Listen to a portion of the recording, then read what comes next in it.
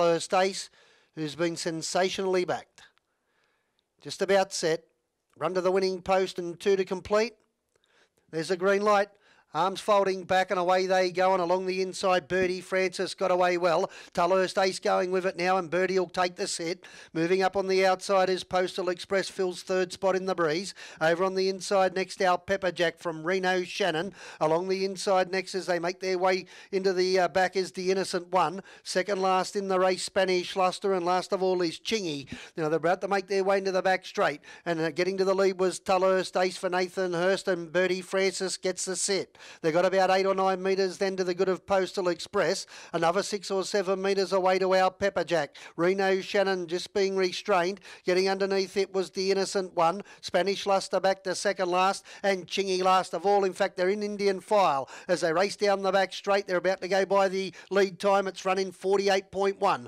And in front is Tullhurst Ace. Birdie Francis second, third Postal Express, and fourth is our Pepperjack. Fifth over on the inside, still the innocent one from Reno Shannon. Now Spanish Luster breaks the peg line, goes moving up now on the outside, and Chingy gets onto its back.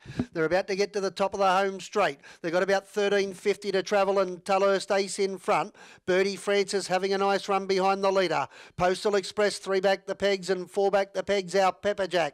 Moving up on the outside is Spanish Luster, Chingy onto its back. Reno Shannon gets onto their back, and last of all on the inside is the Innocent One. They ran the first quarter in 30.9. They go by the winning post. They're about to run out of the straight, short of a lap to travel. Tullhurst Ace in front, and Nathan Hurst takes a look around. In second spot now, Spanish Luster moving up on the outside. In third is Birdie Francis on the outside, Chingy from Postal Express, Reno Shannon, out Pepperjack, who's racing second last, and last of all is the Innocent One. They go by the second quarter in 31 and 2. It's a 62 half down the back, and out in front still Tullhurst Ace. Two metres over the stablemate Spanish Luster. Birdie Francis sweating on an inside run. Chingy's on the outside, one by one from Postal Express. And then came Reno, Shannon out Pepperjack, and still last of all is the Innocent One. They about to race off the back. They got 500 to go. In front still Tullhurst Ace. Spanish Luster on the outside, edging a little bit closer. Chingy hooks out three wide, commences it run, its run. And then Birdie Francis behind those runners next along the inside out Pepperjack. The Innocent One's going to be the widest of all. And then came behind them next Postal Express